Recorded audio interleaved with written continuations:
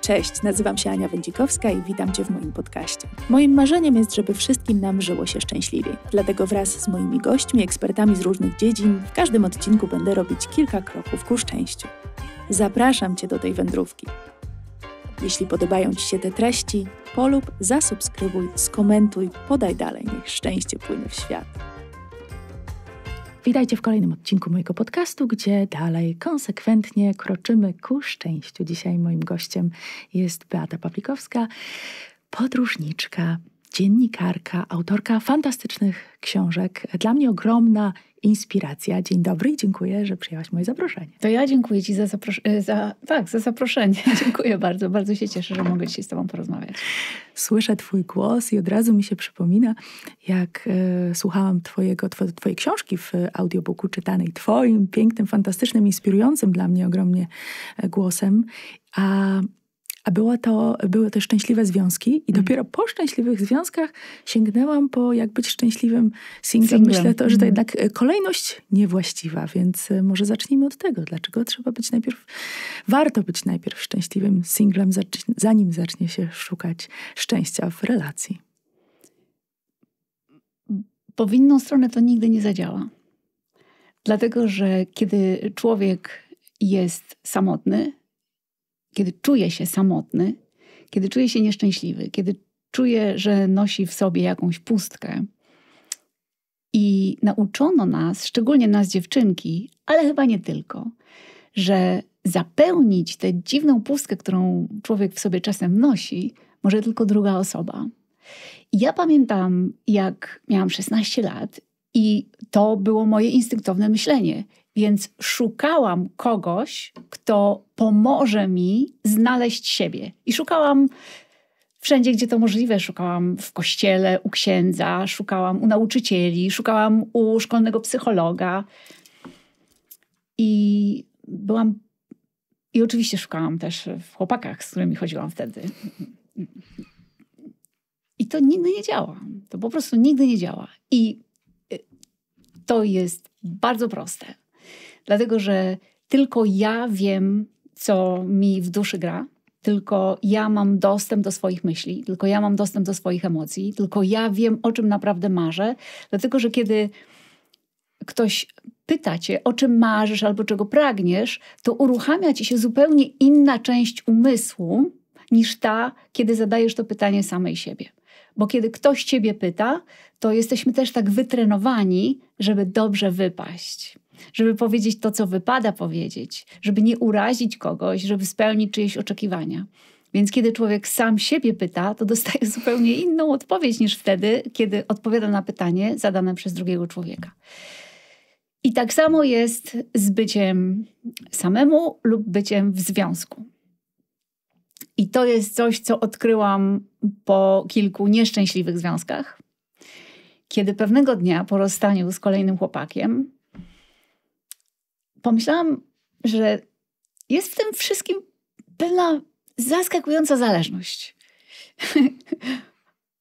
Owszem, zmieniały się osoby, z którymi byłam, ale jedyną, jedynym stałym elementem w tych wszystkich pechowych związkach i nieszczęśliwych relacjach byłam ja sama.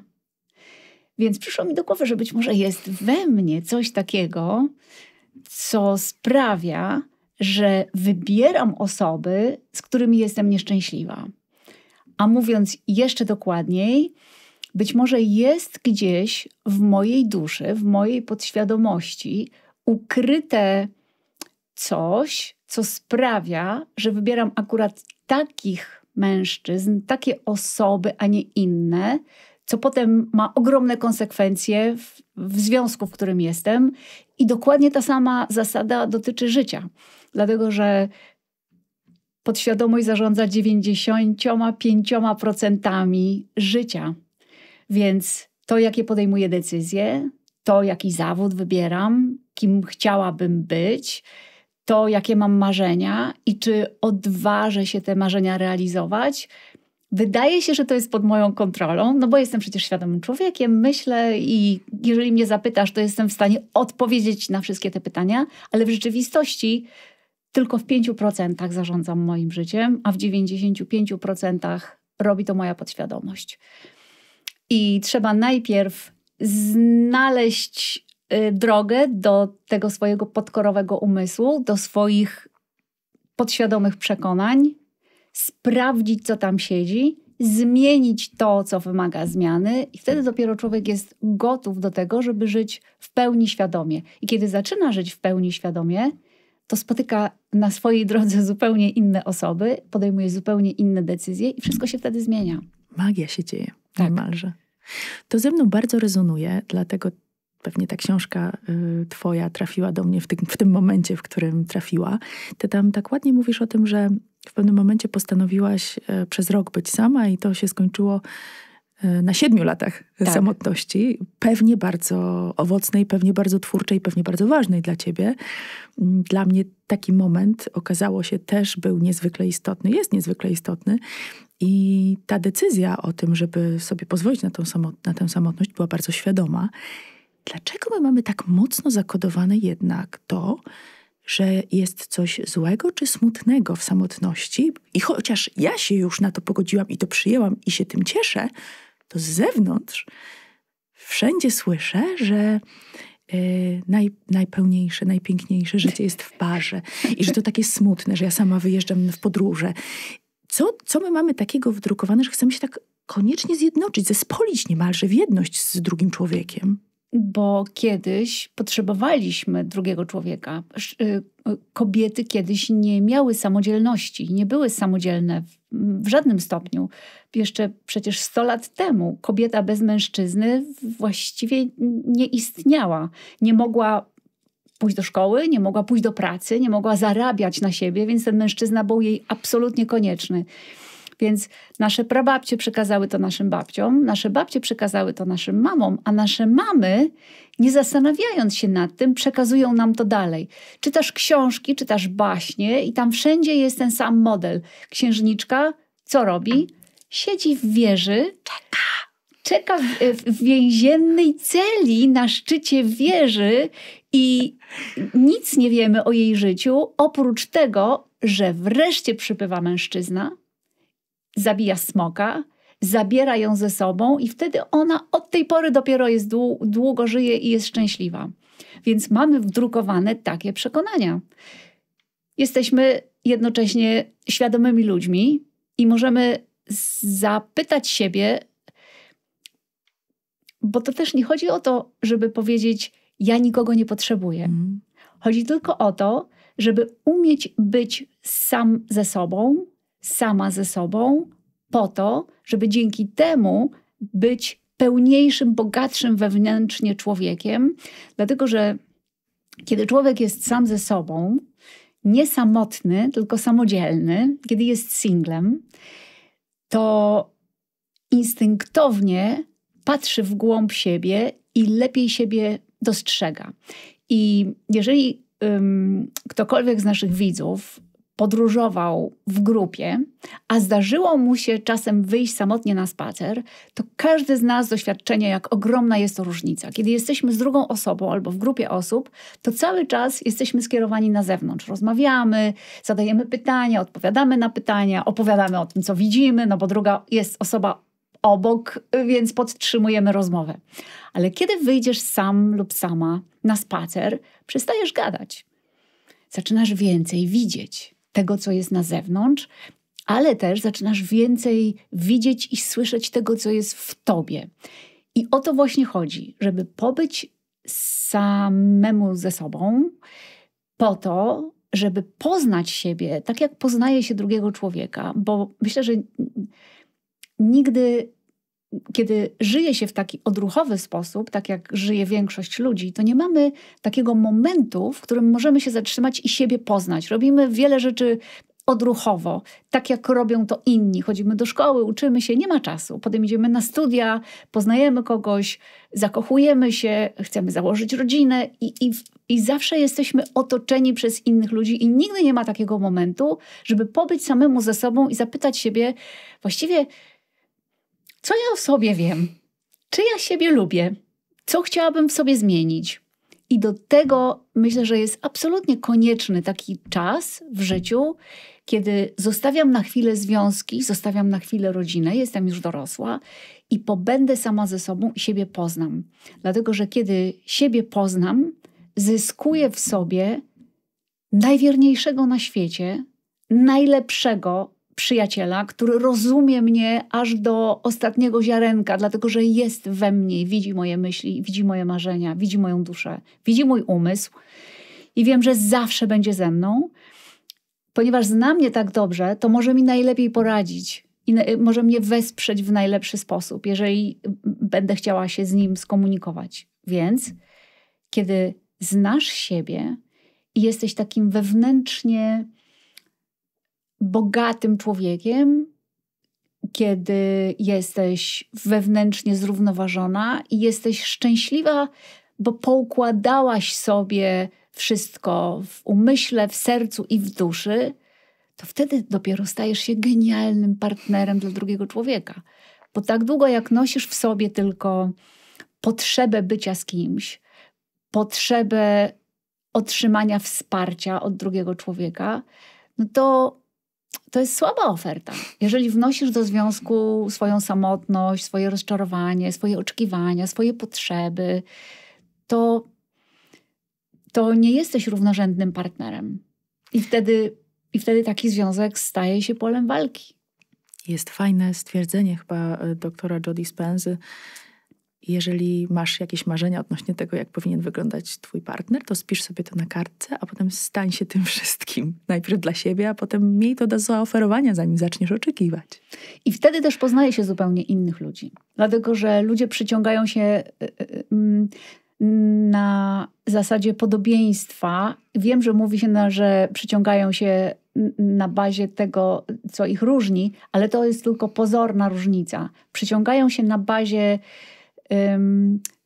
tego, na jakim etapie dojrzałości emocjonalnej są. Dlatego, że y, to jest logiczne. Jeżeli jesteś y, obszczerbioną filiżanką i idziesz przez świat i widzisz drugą filiżankę, która jest y, świeżo ze sklepu i ma złote uszko, to pomyślisz sobie, nie, no ta filiżanka nigdy się mną nie zainteresuje, ona jest tak inna ode mnie, więc szukasz innej wyszczerbionej filiżanki. Więc najpierw musisz sam sobie to złote uszko pomalować, y, nie w sensie zewnętrznej urody, tylko wewnętrznego piękna i wtedy dopiero atrakcyjni zaczynają ci się wydawać ludzie, którzy są równie wewnętrznie piękni jak ty. Jakie to ładne. Podoba mi się też to, co mm, mówisz, bo do mnie mówiłaś, ale piszesz również w swojej książce o tym, że to zespolenie w relacji nie jest niczym dobrym. Że to, czego nas nauczono, że mamy tak wszystko zawsze razem i tak być po prostu we wszystkim, yy, wszystko wspólnie, i że nauczyliśmy się polegać na partnerze jako tym elemencie, który nam powinien zapewnić szczęście. Więc jeżeli ja jestem nieszczęśliwa, to znaczy, że on mnie unieszczęśliwia. To jest jego wina. o, jaka to jest pułapka. Myślę, że to jest jedna z największych pułapek y, w związku. Oczekiwanie, że on będzie taki jak ja i że on sprawi, że będę szczęśliwa. I to jest chyba najważniejsza rzecz, którą odkryłam w związku. Że drugi człowiek nie jest po to, żeby sprawić, żebym ja była szczęśliwa. Drugi człowiek jest po to, żebym mogła dzielić się moim szczęściem, jeżeli chcę. Bo myślę, że bycie w szczęśliwym związku oznacza, że obie osoby są jednocześnie szczęśliwymi singlami, i to nie oznacza, że związek jest otwarty, że spotykają się z innymi osobami, tylko oznacza, że każda z tych osób oprócz wspólnego życia ma też swoje pasje i swoje życie. I ja z moim partnerem mamy taki związek, w którym mamy rzeczy, które nas łączą i, i, i którymi zajmujemy się wspólnie, i które są naszymi wspólnymi pasjami. Podróżowanie jest naszą wspólną pasją, czy gotowanie jest naszą wspólną pasją. Ale jednocześnie każdy z nas ma taką sferę życia, która należy tylko do mnie. I myślę, że to też mm, pozwala zwiększyć raz, że partnerstwo w związku, dwa, atrakcyjność dla siebie wzajemnie, bo oboje jesteśmy ludźmi z pasją, więc realizujemy swoje pasje. I myślę, że daje to też pewnego rodzaju poczucie bezpieczeństwa. Dlatego, że wiem, że gdyby mój partner z jakiegoś powodu zdecydował się odejść z tego związku i wyruszyć gdzieś w inną stronę, i uważam, że ma do tego pełne prawo, niezależnie od tego, co mi obiecał i niezależnie od tego, co mi dzisiaj mówi, to z doświadczenia wiem i myślę, że każdy człowiek wie, że e, ludzie zmieniają zdanie. Jak kiedyś z pełnym przekonaniem mówiłam rzeczy, co do których dzisiaj mam zupełnie inną opinię. Ludzie się zmieniają, opinie się zmieniają, więc nie wydaje mi się, że istnieje cokolwiek, co mogłabym obiecać dzisiaj, co do czego mogłabym mieć stuprocentową pewność, że zawsze tak będzie. I to tę samą zasadę stosuję do drugiego człowieka. Więc myślę, że on ma pełne prawo do tego, żeby zmienić zdanie, jeżeli zechce. I gdyby tak się zdarzyło, to on odchodząc zabierze część naszego wspólnego życia i swoje własne. Ale ja zostaję z moim życiem. Z tym moim życiem, które teraz pielęgnuję, czyli z moimi pasjami. I dlatego jestem przekonana o tym, że nie wszystkim trzeba się dzielić. Nie wszędzie trzeba chodzić razem. Ja na przykład bardzo lubię sama podróżować. Ja długi czas miałam takie przekonanie, że po to jest związek żeby właśnie. Żeby robić wszystko, wszystko razem. Żeby wszystko robić razem, bo no skądś to wynosimy. Moi rodzice tak żyli i mnie się wydawało, że tak powinna wyglądać relacja. Jeżeli tak nie wygląda, no to coś jest nie tak. To nie mhm. ma między nami miłości, może bliskości, może tej osobie nam niewystarczająco nie zależy. I to mi zajęło sporo czasu, żeby odkryć, że ani to nie jest y, dobre, ani nawet mnie się to tak do końca nie podoba. Bo też jest jedna rzecz, która dzieje się wtedy, kiedy wszystko robi się razem na przykład w każdą podróż wyjeżdżamy razem i każdą wolną chwilę spędzamy wspólnie, to człowiek jako człowiek przestaje się rozwijać, bo jesteś przez cały czas w relacji zewnętrznej i to znaczy, że nigdy nie zostajesz sama ze sobą i nie budujesz relacji wewnętrznej. I stąd może wynikać potem ta ogromna rozpacz, kiedy ktoś odchodzi i człowiek tak się czuje, jakby zabrano mu serce, zabrano mu życie. Ale też taki człowiek, który się nie rozwija poza związkiem, y, przestaje wnosić nowe wartości i nowe rzeczy do związku, więc ten związek też się nie rozwija. I, i zastanawiam się, czemu wielu, wiele, naprawdę wiele związków, czemu wiele związków tak funkcjonuje. Dlatego, że myślę, że ludzie odruchowo boją się spędzić czas z samymi sobą, dlatego że ja też kiedyś się bałam, bo istnieje ryzyko, że jeżeli zaczniesz się sobie przyglądać i uczciwie spojrzysz na siebie i będziesz gotowa do tego, żeby znaleźć o sobie prawdę i przyznać się do tej prawdy, to odkryjesz rzeczy, które, do których nie chciałabyś się przyznawać. I mało tego, jak je odkryjesz, to istnieje takie niebezpieczeństwo, że będziesz musiała coś z nimi zrobić, a to wymaga wysiłku. Tego mnie nauczyła dżungla. I myślę, że długo jeszcze żyłabym w takiej iluzji dotyczącej samej siebie, gdyby nie to, że pojechałam do dżungli. I pierwszy raz pojechałam do dżungli około 30 lat temu. I uważałam siebie wtedy za osobę, która jest silna, samodzielna, odważna i w ogóle, że dam sobie ze wszystkim radę. I dżungla pokazała mi prawdę i rzuciła mnie na kolana. I pamiętam, przyszedł taki dzień, wędrowaliśmy z Indianami przez dżunglę wiele godzin, z 20 kilo plecaka na ramionach. I w pewnej chwili po prostu usiadłam i zaczęłam płakać i powiedziałam, że ja już nie mogę iść dalej. I oni tak dziwnie na mnie spojrzeli, tak jakby w ogóle nie widzieli, jakby nie spotkali się nigdy z czymś takim, z takim zjawiskiem. Co to znaczy nie mogę iść dalej? Przecież idzie się tak długo, aż znajdziemy miejsce, gdzie możemy zrobić obozowisko. W ogóle i to był chyba taki pierwszy moment, kiedy życie zmusiło mnie do tego, żeby spojrzeć na siebie nie przez, nie przez pryzmat tego, co chciałabym, żeby ludzie o mnie myśleli, tylko żeby spojrzeć na siebie tak stuprocentowo uczciwie. I wtedy wszystko zaczęło się zmieniać. A jakie były inne momenty, które były takie graniczne, które, które były takimi mm, decydującymi punktami w Twoim życiu, gdzie coś się przekręciło? Pamiętam dwa. Pamiętam, nie wiem dokładnie ile to było lat temu, ale to musiało być z, może 20 lat temu. I byłam wtedy osobą, o której wszyscy myśleli, że jestem bardzo silna, odważna, ze wszystkim sobie radzę i że wszystko układa się świetnie. A ja co pewien czas wpadałam w taką ogromną, ogromną rozpacz, nad którą nie panowałam i która polegała na tym, że przez kilka dni płakałam. I po prostu leżałam wtedy w wynajętym maleńkim mieszkanku w Warszawie i, i, i leżałam na podłodze i wiedziałam, że czujesz się wtedy tak, jakbyś umierała wewnętrznie i po prostu umierasz cała, dlatego że to boli tak bardzo i nie dlatego, że zdarzyło się coś takiego i czujesz taką rozpacz, tylko po prostu znajdujesz się w takiej czarnej otchłani i nie masz nawet siły, żeby szukać z niej wyjścia.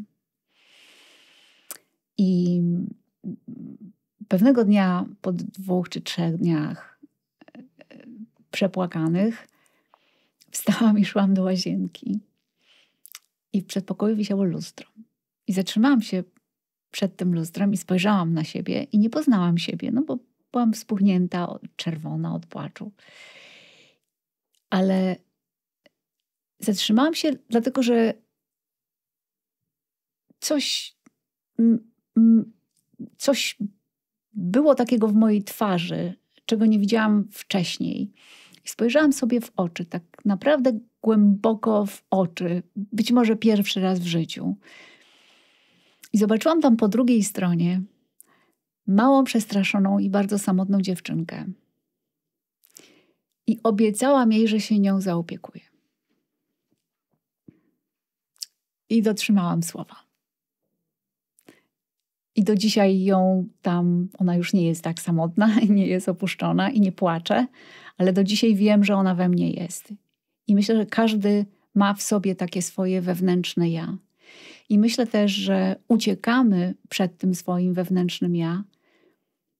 I dlatego ono jest takie samotne i opuszczone, dlatego że ono potrzebuje kontaktu i ono potrzebuje, żeby ktoś je wysłuchał i żeby, żeby czuło się widziane i żeby czuło się kochane, to to wewnętrzne dziecko trzeba świadomie w sobie znaleźć i przytulić, zaopiekować się nim, porozmawiać z nim, dlatego że to jest taka rdzenna, pierwotna część naszego jestestwa, która ma ogromny wpływ na to, w jaki sposób postrzegamy życie, postrzegamy siebie i postrzegamy świat. To takie silne narzędzie w tej drodze ku szczęściu, właśnie praca Bardzo. z wewnętrznym dzieckiem. Ale zobacz, jeżeli mówi się komuś y, o dorosłym, o, komuś dorosłemu o wewnętrznym dziecku, to jaki dorosły ma czas na to, żeby jakimś wewnętrznym dzieckiem się opiekować? I powie wtedy na przykład, gdyby to było ważne, to wszyscy by to robili. Nie znam nikogo, kto by to robił. Znaczy, że to nie jest ważne. Ale to jest ważne, dlatego że tak długo jak nie spotkasz się z tym swoim wewnętrznym dzieckiem, to będziesz chodził przez życie po omacku. I tak długo jak nie spotkasz się z tym swoim wewnętrznym dzieckiem, to będziesz umierać tysiąc razy w nieszczęśliwych i toksycznych związkach. Dlatego, że to Twoje wewnętrzne dziecko tak bardzo potrzebuje opieki i potrzebuje czyjejś obecności, że kieruje cię w ramiona różnych osób z nadzieją, że stamtąd dostanie te brakujące emocje. Dlatego każdy najpierw musi tym swoim wewnętrznym dzieckiem się zaopiekować, żeby móc być szczęśliwym człowiekiem, żeby, żeby dostać takie bazowe poczucie równowagi i bezpieczeństwa. I wtedy z tym możesz wyruszać gdziekolwiek w świat i w życie, do związku albo do samej siebie. A jaki był ten drugi punkt zwrotny? Ten drugi zdarzył się wcześniej. I to jest jedna z najbardziej tajemniczych historii mojego życia. Dlatego, że miałam wtedy 16 lat i nie pamiętam niczego wcześniej, co zdarzyło się wcześniej w moim życiu. Pamiętam tylko, że jak miałam 16 lat, to znalazłam w szafie pudło i w tym pudle były stare płyty. I to były takie, mm, wiadomo, analogowe, stare winylowe płyty, i wśród nich były też pocztówki dźwiękowe. Pocztówki dźwiękowe to była taka tańsza płyta, i to była prawdziwa pocztówka, i na tej pocztówce był kawałek plastiku, i na tym plastiku były, była wyżłobiona jedna piosenka. I mieliśmy w domu stary gramofon. I ja wzięłam te płyty, wyjęłam jedną z nich, położyłam na tym gramofonie. I wtedy po raz pierwszy w życiu usłyszałam Beatlesów. I poczułam się tak, jakby po prostu, jakby, jakby nagle świat się otworzył i jakbym została przebudzona, albo jak, jakbym została rozmrożona z, z bardzo długiego snu. I wtedy wszystko się zmieniło. Wtedy zaczęłam pisać, rysować, słuchać muzyki. Wtedy przestałam chodzić do szkoły, wtedy zaczęłam się buntować. Wszystko. W, w, y... Wtedy chyba po raz pierwszy spotkałam się ze sobą, albo, albo zaczęłam szukać siebie. Dostrzegłam w ogóle, że istnieje coś takiego jak ja, bo ta muzyka poruszyła jakąś tak czułą strunę we mnie, że nagle wszystko we mnie zaczęło grać. Ja zaczęłam słyszeć tę muzykę. I, i rozglądałam się wtedy dookoła i ponieważ Beatlesi byli, byli pierwszymi dorosłymi, no z mojego punktu widzenia miałam 16 lat, oni mieli wtedy po 24, 23, to to z mojego punktu widzenia oni byli już dorośli. I oni byli szczęśliwi. I oni byli pełni radości i pasji, żyli tym. I postanowiłam wtedy, że zrobię wszystko, choćby trzeba było piechotą na kolanach iść na koniec świata, to dojdę i znajdę sposób, żeby być szczęśliwym człowiekiem.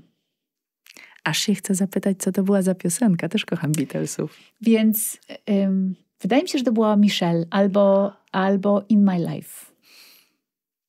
Pięknie. No dobrze, to skoro trzeba być najpierw szczęśliwym singlem, żeby budować coś dalej, to jakie są sposoby, takie już bardziej konkretne, poza tym, wiadomo, e, żeby być coraz bliżej siebie i szukać tej drogi do siebie i zadawać sobie pytania. Ale jakbyś miała komuś tak konkretnie doradzić, dać mu takich kilka rad, jak e, poszukiwać siebie i jak e, znajdować to szczęście w sobie na początek. To jest w sumie bardzo proste. Kiedy spotykasz kogoś, wyobraźmy sobie, że spotykasz mężczyznę, który wydaje ci się bardzo ciekawy, to chciałabyś spędzić z nim trochę czasu, chciałabyś z nim porozmawiać, chciałabyś go zapytać, o czym marzy, chciałabyś siedzieć obok niego na plaży o zachodzie słońca i tylko czuć jego obecność. To to samo trzeba zrobić ze sobą. Jednym z najprostszych sposobów, który ja zastosowałam w moim życiu i który wszystkim polecam, to jest wyprowadzić się na spacer codziennie rano. To jest pierwsza rzecz, którą robię od bardzo wielu lat i to pozwala jednocześnie osiągnąć kilka celów. Po pierwsze, przejmujesz kontrolę nad swoim życiem.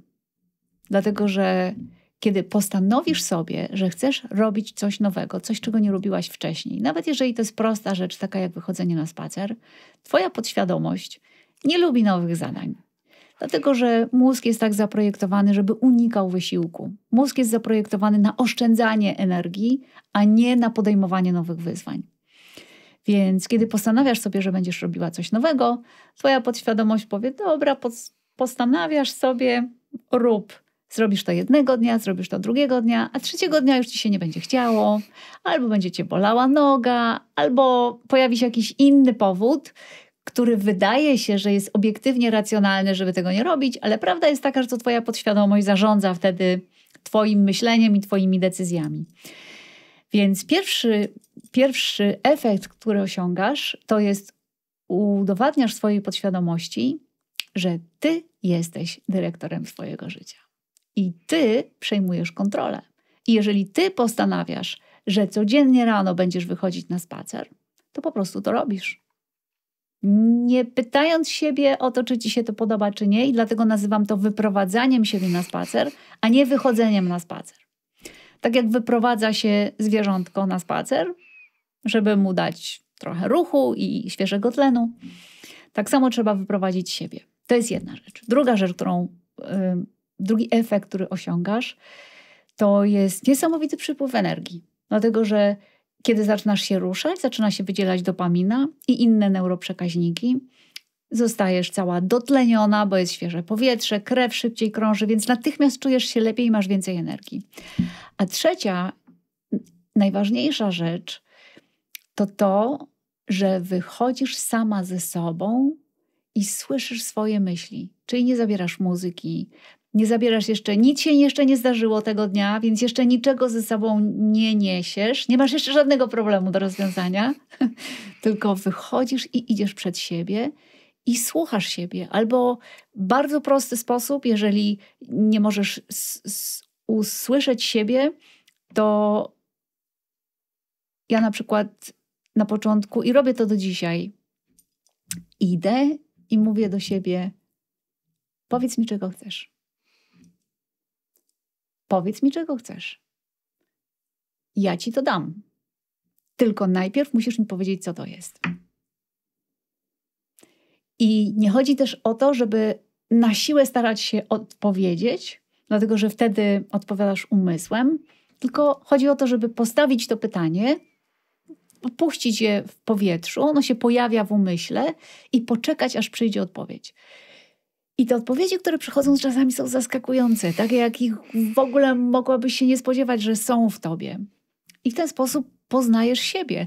Nie tylko poznajesz siebie jako człowieka, ale też dowiadujesz się o sobie rzeczy, z których nie zdawałeś sobie sprawy. Na przykład dowiadujesz się, czego pragniesz naprawdę bo jeżeli udzielasz odpowiedzi słowami, korzystając z tej racjonalnej części swojego umysłu, to będziesz mówiła zupełnie inne rzeczy niż wtedy, kiedy zadajesz to pytanie samej sobie o świcie. Kiedy patrzysz na wschodzące słońce i słyszysz ptaki, jest dookoła ciebie tak nieprawdopodobnie wielka energia życia i świata i rozpoczynającego się dnia, że wszystko wtedy brzmi inaczej. A te samotne podróże, one są dla ciebie nie, na pewno bardzo ważne, skoro kultywujesz to yy, od tylu lat, niezależnie od tego, czy jesteś sama, czy jesteś w relacji. Mhm. Czy one też są Twoim sposobem na tę harmonię wewnętrzną i na to Twoje wewnętrzne szczęście? Oczywiście. I samotne podróże są najprostszym sposobem, żeby poznać o sobie prawdę. Dlatego, że kiedy jesteś sama, szczególnie jeżeli jesteś w miejscach, w których nie byłaś wcześniej, i kiedy, jak w każdej podróży, dzieją się rzeczy, których zupełnie się nie spodziewałaś, są zaskakujące, nieoczekiwane i czasami bardzo nieprzyjemne, widzisz swoje instynktowne reakcje i widzisz swoje instynktowne myśli. I wtedy wiesz, jakim naprawdę jesteś człowiekiem bo tylko te instynktowne myśli, emocje i reakcje pokazują ci, jaka jest o tobie prawda. Nie to, co mówisz o sobie, bo ci się tak wydaje, bo to jest raczej to, co chciałabyś, żeby było prawdą, albo powtarzasz rzeczy, które usłyszałaś w przeszłości i które zostały wgrane w Twoją podświadomość, więc kiedy zostaje zadaje pyta jakieś pytanie, o to na przykład jaka jesteś, to włącza ci się odtwarzanie tego, co wcześniej zostało w tobie zapisane. Czyli na przykład, jeżeli często słyszałaś, że jesteś do niczego, to jak automat będziesz powtarzała, ja jestem do niczego. Możesz to ubrać w inne słowa. Możesz powiedzieć, no ja jestem nieśmiała, ja to raczej nie, ja to raczej wolę trzymać się z tyłu. A, ale gdyby tak poszperać i dopytać, to by się okazało, że nie wierzysz w siebie, dlatego że tak często ktoś ci mówił, że jesteś do niczego i że zawsze coś musisz zepsuć, że przyjęłaś to jako swoją tożsamość. Więc dopiero kiedy dotrzesz do źródła, czyli kiedy odkryjesz to, co wcześniej zostało e, e, w tobie zapisane bez twojego świadomego udziału, możesz spróbować to zmienić i wszystko można zmienić. Każdy taki podświadomy kod, który w sobie nosisz, to nie jest coś, co jest cechą Twojego charakteru, to nie jest coś, co jest cechą Twojej osobowości, to nie jest coś, co określa Ciebie jako człowieka, to jest tylko program, który został Ci wgrany, kiedy byłaś dzieckiem. Jako dorosły człowiek nie tylko masz prawo i nie tylko masz przywilej, ale myślę, że masz obowiązek żeby sprawdzić, w co naprawdę wierzysz i świadomie zdecydować, czy chcesz dalej żyć zgodnie z takimi przekonaniami. Nie, niekoniecznie musisz chcieć to zmienić, bo możesz sobie powiedzieć: No dobra, ja wierzę w to, że jestem do niczego, ale. To mnie chroni, na przykład. Na przykład, albo tyle lat żyłam z tym i jakoś, jakoś radzę sobie, to po co mam to zmieniać? Więc możesz podjąć taką decyzję, że, że nie chcesz. Chcę tylko powiedzieć, że wszystko to, w co człowiek wierzy o samym sobie i wszystkie swoje przekonania można zmienić i są na to bardzo proste sposoby. A jakie? Bardzo proste sposoby. Nawet na logikę biorąc, w jaki sposób wgrane w nas zostały te programy. Przez powtarzalność. Dlatego, że często nam powtarzano, kiedy byliśmy dziećmi, i takie komunikaty słyszeliśmy, takie komunikaty docierały do nas z zewnątrz i z telewizji, albo z różnych filmów, albo od znajomych, albo od książ z książek, które czytaliśmy.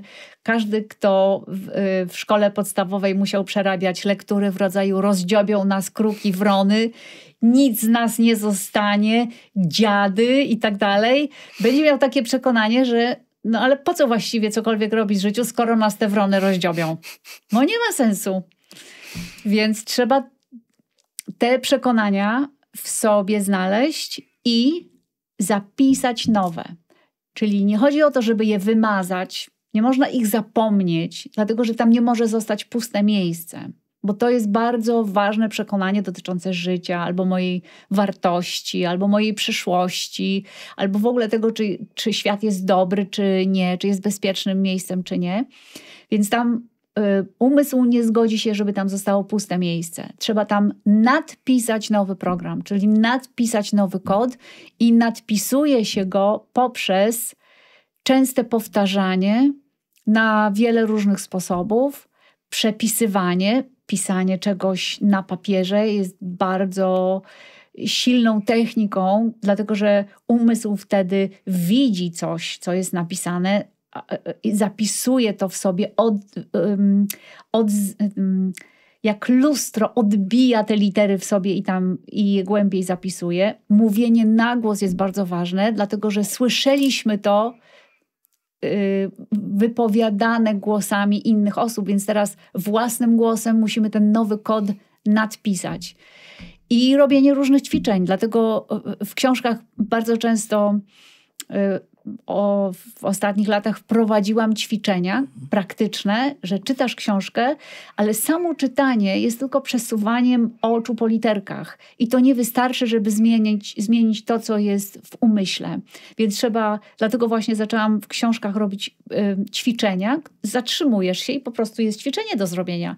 I to takie ćwiczenie, które pokazuje ci twoje instynktowne przekonania albo twoje instynktowne myśli, a potem są wzorcowe kody, które znów pisząc, mówiąc na głos, powtarzając, zajmują miejsce tych wcześniejszych. Beata, to spróbujmy na przykładzie, bo ja sobie właśnie pomyślałam o przekonaniu, które ja w sobie niedawno odkryłam i które myślę, że mi bardzo przeszkadza. Moi rodzice mi mówili, że mam trudny charakter, yy, nikt mnie nie będzie chciał. Mój tata mi nawet w żartach mówił, że będzie musiał dopłacić, żeby ktoś mnie wziął. I teraz, jak ja mam to zmienić na pozytywny komunikat? Ym, spróbuj. Mhm. Jestem fantastycznym partnerem. Yy, Chciałabym mm. tylko zwrócić Twoją uwagę na fakt, że jeżeli mówisz, że jestem fantastycznym partnerem, to w pewien sposób od razu sugerujesz, że nie możesz być sama, dlatego że wszystko, co jesteś, potrzebuje drugiej osoby. Mm, no i... Więc proponowałabym Ci, żebyś nie, nie tworzyła tego nowego kodu na bazie bycia z kimś, takiego podświadomego oczekiwania, że to druga osoba musi być. No tylko, tylko że on jest stworzony na bazie tego, że właśnie w. Ty... Mm, okay. Ja wiem, y, ale. Czyli wejść głębiej. Dlatego, że mm to, co powiedziałaś, to ma zastosowanie wtedy, kiedy jesteś w związku, a nie ma zastosowania mhm. dla ciebie jako człowieka. Mhm. A nowy kod musi być na tyle uniwersalny, żeby służył tobie jako człowiekowi, niezależnie od tego, czy jesteś w związku, czy nie. Mhm. To spróbuj inaczej. No dobra, to poczekaj. Zaczynało się od tego, że mam trudny charakter. Um, Widzisz, nawet nie mogę nic wymyślić. spróbuj, spróbuj. Mam trudny charakter, mam trudny, nie mam trudnego charakteru, ale nie używamy zaprzeczeń, więc... Nie używamy zaprzeczeń, dlatego że słowo nie jest niewidzialne dla podświadomości mhm. i jeżeli y, chciałabyś ćwiczyć taki nowy kod, gdybyś sobie wymyśliła nie mam trudnego charakteru, to zapisywałabyś w swojej podświadomości nie mam, mm. czyli mam, um, czyli mam jestem jakiś, jestem brakiem, mm -hmm. nie mam, jestem wybrakowana. Trudnego, czyli powtarzasz słowo trudne i charakteru, czyli oprócz tego, że bardziej sobie jeszcze kodujesz trudny charakter, to jeszcze kodujesz sobie brak, który istnieje w twoim życiu. Wiem, mam barwną osobowość. Ładne, bardzo, tylko mam barwną osobowość nie sięga głębiej do ciebie jako człowieka. Mhm. Dlatego, że barwną osobowość można zrozumieć na wiele różnych sposobów i nie wiemy mhm. dokładnie, jak to zostanie zinterpretowane przez Twoją podświadomość. Dlatego, że Twoja podświadomość na przykład może pamiętać, jak Twoi rodzice krytykowali hipisów, których widzieli w telewizji i mówili o nich, y, y, że noszą y, takie ubrania, a komentator mówił barwna osobowość i tutaj flower power i tak dalej, więc Rozumiem. to może być przez swoją podświadomość odebrane jako jestem dziwna. Mhm. Jestem dziwniejsza od innych. Poza nawiasem społeczeństwa. Tak. I to też nie będzie dla ciebie dobre, dlatego że będzie sprawiało, że będziesz się czuła wyobcowana. Mhm. To spróbuj inaczej. Jestem. Um...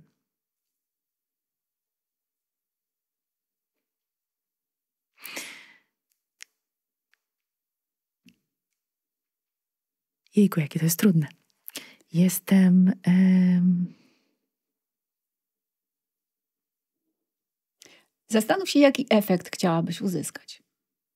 Takiej zgody, zgody wewnętrznej i poczucia tego, że jestem wystarczająca, że jestem, mm, że dam sobie przyzwolenie na to, żeby mm, odczuwać siebie w sposób łagodny, żeby mieć dla siebie y, serce, żeby mieć dla siebie wyrozumiałość. To, co mówisz, wyrozumia że wyrozumiałość, łagodność, pozwolenie i pierwsza rzecz, którą użyłaś, której użyłaś? Że jestem wystarczająca. Wystarczająca. To wszystko są bardzo ograniczające określenia. Wystarczająca oznacza, że jestem no tak dosyć, dosyć, ale nie jestem maks, tylko jestem tak dostateczna. Pozwalam sobie, to znaczy, że w sumie nie zgadzam się z tym, nie akceptuję tego w pełni, tylko daję sobie pozwolenie, czyli jakby zgadzam się na coś, z czym się tak naprawdę nie zgadzam. Jestem dla siebie łagodna, to znaczy, że y, traktuję siebie pobłażliwie, z wyrozumiałością, ale tak naprawdę w, w gruncie rzeczy wcale nie akceptuję tego, kim jestem. Więc. Jakie to jest trudne. To nie jest dobry kierunek. Dlatego, że jeżeli Twoim y, celem, czyli jaki efekt chciałabyś osiągnąć? Chciałabym mieć poczucie.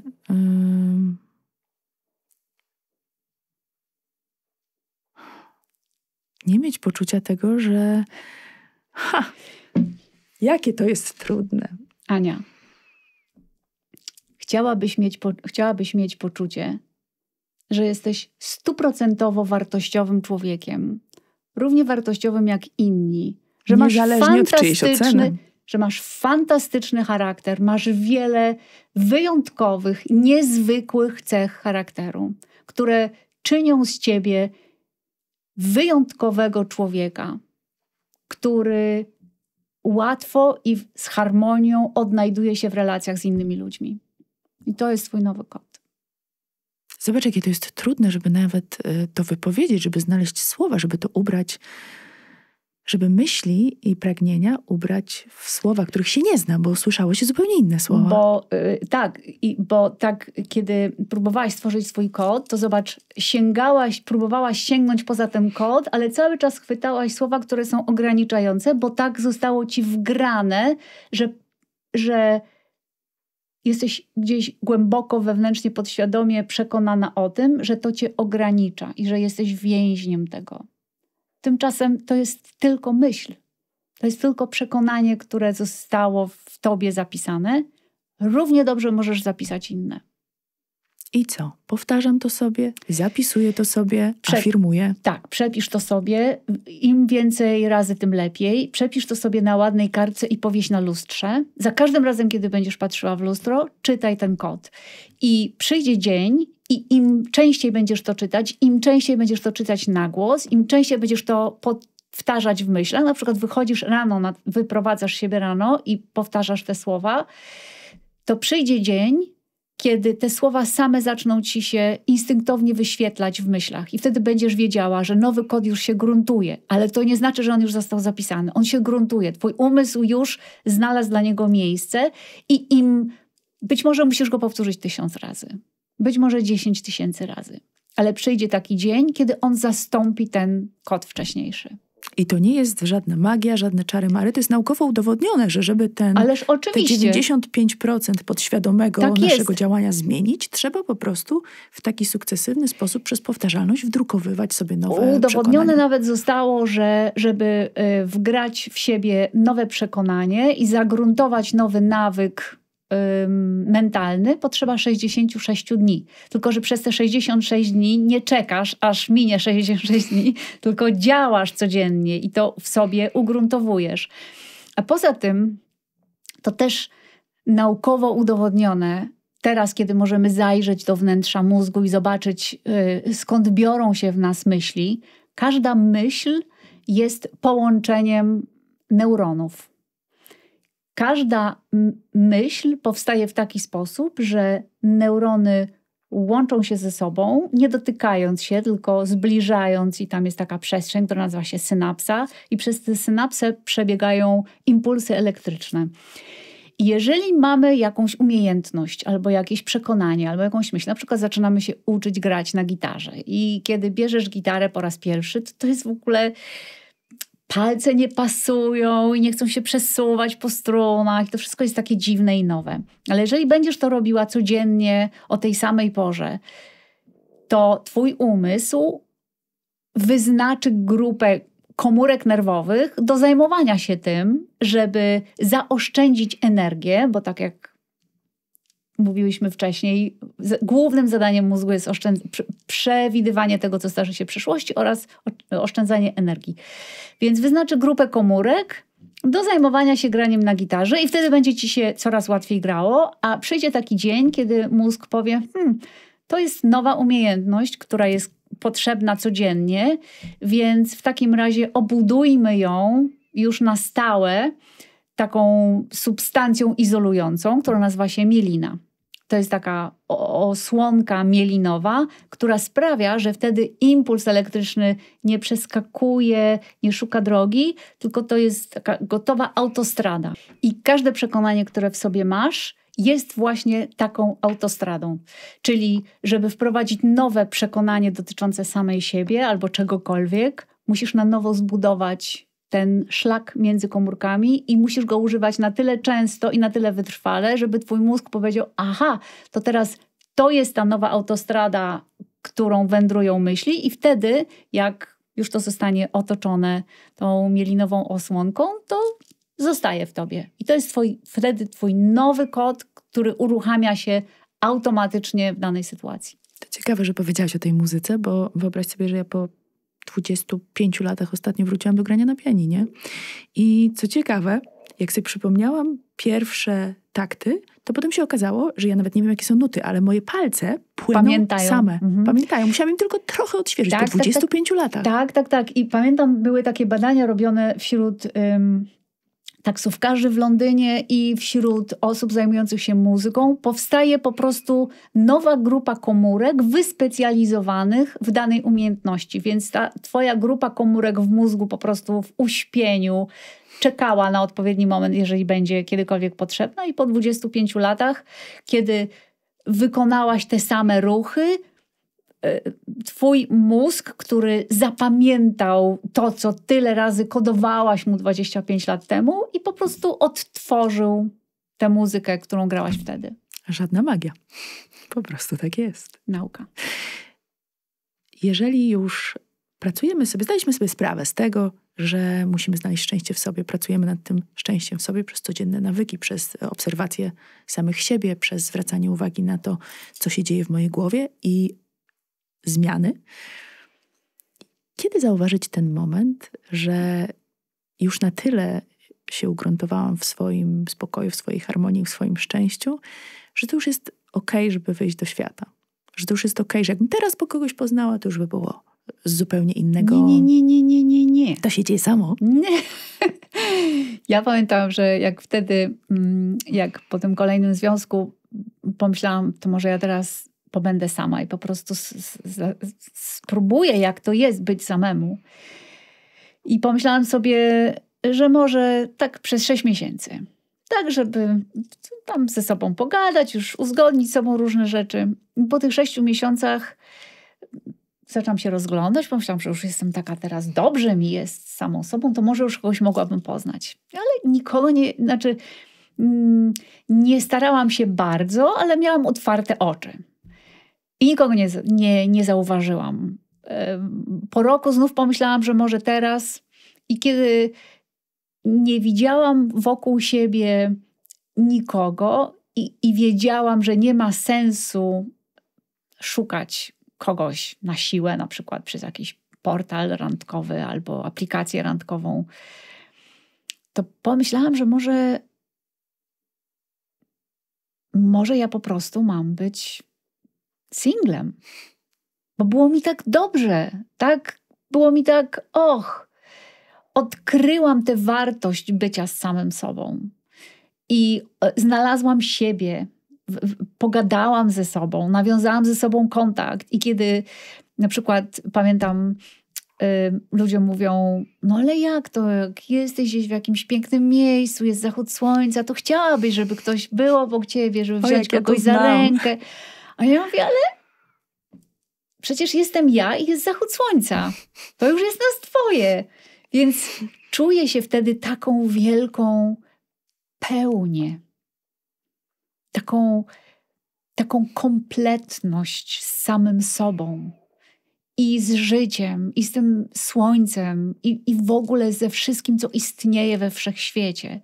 Że naprawdę, gdyby był obok drugi człowiek, to cudownie, ale on wcale nie musi tam być, bo ta pełnia, którą człowiek czuje z samym sobą, kiedy da sobie na to szansę i kiedy da sobie szansę pobyć ze sobą, zrozumieć siebie, jest równie spełniona i kompletna i szczęśliwa, jak to, czego można by doświadczyć w tej samej sytuacji z drugim człowiekiem. Więc nie spotykasz drugiego człowieka wtedy, kiedy już ci się wydaje, że już mm, to już teraz odrobiłam lekcję, to teraz moja nagroda. I ja po siedmiu latach wyruszyłam, mm, po siedmiu latach bycia singlem, wyruszyłam na moją kolejną samotną wyprawę. Ja nigdy nie zaczepiam innych osób. Ja zawsze, jak jestem na samotnej wyprawie, to lubię być sama. I jak mnie ktoś zagaduje, to też nie, nie wchodzę w rozmowy. Znam takich podróżników, którzy wyruszają sami w podróż, ale po to, żeby tam poznać kogoś i dalej podróżują z kimś, dlatego że potrzebują towarzystwa. A ja lubię być sama. I wtedy poznałam w Belize, w Ameryce Środkowej, w dżungli, w mieście Majów, niespodziewanie widzę człowieka i mam tak ogromną ochotę, żeby z nim porozmawiać. A co jeszcze dziwniejsze, że kiedy jestem, bo tam chodziliśmy po tym mieście, i kiedy ja zbliżam się do niego, to po prostu mam dreszcze na całym ciele. Myślę sobie pewnie dlatego, że jestem głodna. Ale potem chodziliśmy po tym mieście dalej i zjedliśmy lunch. I za każdym razem, kiedy on był blisko, ja znów miałam dreszcze na ciele. Myślę, co, o co w ogóle, o co tu chodzi? I się okazało. Tak, i to ja zagadałam do niego, czego nigdy nie robię. Mało tego, on jest osobą bardzo towarzyską i to on zwykle zagaduje wszystkich. I to był jedyny dzień, kiedy on nie miał ochoty rozmawiać z nikim. Więc ja zagadałam do niego, on mi odpowiedział. Ja znam tę historię oczywiście z książki, uważam, że ona jest bardzo piękna. I od tej pory razem kroczycie przez życie i to jest e, piękne, fantastyczne. I to jest też na pewno trochę tak, że jak już się wejdzie w ten kontakt ze sobą, jak już się wejdzie w to zaufanie i w to przekonanie, że to nie ktoś ma mnie uszczęśliwić, tylko ja sama sobie najpierw muszę dać miłość, szczęście, poczucie bezpieczeństwa i wszystko to, czego oczekuję z zewnątrz, najpierw dać sobie i dopiero z tej pełni wyjść do świata, to, to jak się jest w tym zaufaniu, to wtedy trzeba jeszcze poczekać, aż wszechświat powie, kiedy te trajektorie mają się tutaj nasze Tak, zejść. dlatego że obie osoby, kiedy się poznają, to obie osoby są wtedy gotowe do tego, żeby się spotkać i żeby stworzyć razem coś. Bo jeżeli będziesz kogoś szukać, to to jest naginanie rzeczywistości. I wtedy, i wtedy to nie jest tak, że wszechświat zetknął was ze sobą, bo oboje byliście w idealnym miejscu i momencie, tylko myślę, że wtedy coś może nie zagrać. Ale powiedziałaś też jedną bardzo ważną rzecz, bo to nie o to chodzi, żeby być Zosią Samosią i żyć samemu ze sobą.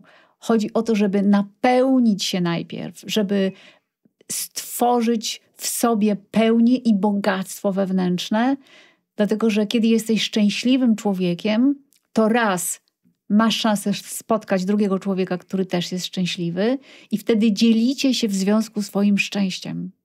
I to jest w ogóle podstawa szczęśliwego związku, kiedy spotykają się dwie szczęśliwe osoby. I wiesz co jeszcze? Kiedy ja słyszę, że taka samotna podróż to jest smutna, nieciekawa, że może to jest ucieczka przed czymś, ja zawsze mówię, jeżeli ty sam ze sobą nie lubisz spędzać czasu, no to jak możesz oczekiwać, że ktoś inny będzie się dobrze czuł w twoim towarzystwie i będzie chciał z tobą czas spędzać? Jesteśmy przyzwyczajeni do tego, żeby zawsze być z kimś. Ja pamiętam, że kiedy um, zaczęłam pisać um, wiersze i opowiadania, książki, miałam 18 lat i jeździłam na obozy korespondencyjnego klubu młodych pisarzy i ja pisałam przez całe godziny, pisałam i rysowałam i słuchałam muzyki przez, przez większość dnia, więc mało czasu zostawało mi na przykład na szkołę. I pamiętam jeden z pisarzy, który doradzał mi, powiedział, że powinnam wyjść za mąż i urodzić dzieci. I wtedy, i wtedy będę zacznę być normalna. Więc jeżeli masz 18 lat czy 17 i słyszysz taką radę z ust dorosłego, to możesz mu uwierzyć. A jeżeli mu uwierzysz i gdybym mu uwierzyła, to moje życie byłoby kompletnie, kompletnie, kompletnie inne i myślę, że byłabym do dzisiaj zagubiona. No, kto wie, może i tak byś tę drogę przeszła, tylko po prostu innymi zakrętami Być byś może. dochodziła do tego miejsca. Bardzo Ci dziękuję. Wiesz, że ja dzięki tej Twojej książce, drugiej już w tej chwili, na pewno zrobiłam parę potężnych, dużych kroków ku szczęściu. A czy znasz książkę Kody podświadomości? Te, potem jeszcze nie sięgnęłam. To ja mam ją dla ciebie tutaj, bo to jest książka, która uczy, jak zmieniać swoje kody podświadomości, o których dzisiaj rozmawiałyśmy. No, cudownie, to coś dla mnie. I, i, I dziękuję Ci za tę rozmowę i mam nadzieję, że y, Wy, słuchając tej naszej rozmowy, też zrobiliście parę potężnych kroków e, ku szczęściu, a jeżeli jeszcze Wam brakuje trochę rozpędu, to polecam naprawdę gorąco z całego serca. Polecam książki Beaty Pawlikowskiej, są fantastyczne. Dziękuję ci bardzo. Dziękuję wam bardzo również. No ja, ja teraz czytam tę, a w zasadzie nie czytam, tylko słucham, bo y, po szczęśliwych związkach i słuchaniu tej książki twoim głosem, to y, dla mnie nabiera jeszcze większej wartości. Czuję takie połączenie i czuję, że ty mi jeszcze więcej z tej swojej energii dajesz właśnie tym audiobookiem. Jak nagrywam audiobooki, to dodaję też coś od siebie, więc nie czytam tylko, tylko opowiadam to jak historię, tak jakbym opowiadała to po raz pierwszy. Tak, tak, to ma taki walor. Rzeczywiście takie się ma wrażenie, że tak po prostu mówisz do mnie, Mhm, mówisz do mnie. Jak kumpela na kawie. A to jest książka z podtytułem Praktyczny kurs życiowej przemiany. I w tej książce wyjaśniam, czym są te kody podświadomości, skąd się wzięły. I tutaj są praktyczne ćwiczenia i mm, praktyczne wzory nowych kodów. Więc ta książka to jest komplet życiowych kodów, takich nowych kodów, które warto ze sobą mieć. Fantastycznie, dziękuję.